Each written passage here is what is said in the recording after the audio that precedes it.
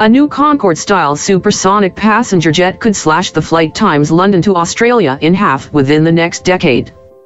The X-59 quiet supersonic technology aircraft is being built by Lockheed Martin, assisted by NASA, to perfect quiet sonic booms that would allow the plane to go supersonic over land. Concorde, which was last flown in 2003, could not fly over land due to a powerful sonic boom that broke the sound barrier. The X-59 is designed to cruise at 55,000 feet at about 940 miles per hour and create just 75 perceived level decibel bell about as loud as a car door closing. Lockheed Martin said the move marks a milestone to bring supersonic commercial travel overland one step closer to reality. It comes after Qantas embarked on a 19-hour non-stop flight from London to Sydney earlier this month, with a new X-59 expected to half that as it reaches speeds of up to Mach 1.45.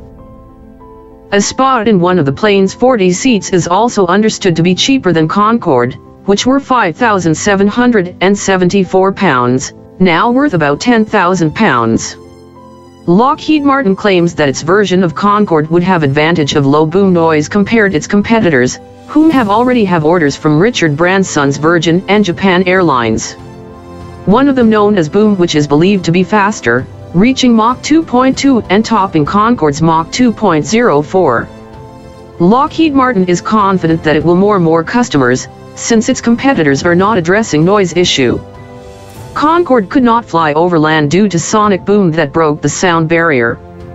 Lockheed Martin is confident that X-59 produces less noise and aviation authorities will allow it to fly overland routes. The first flight of the X-59, which could one day fly from London to New York in just three hours without giving off a loud sonic boom, is scheduled for 2021.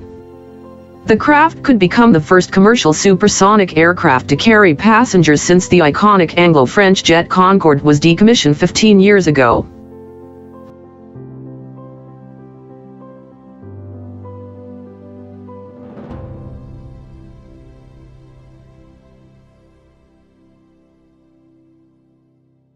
Like, comment and subscribe. Don't forget to hit the bell icon for the notification.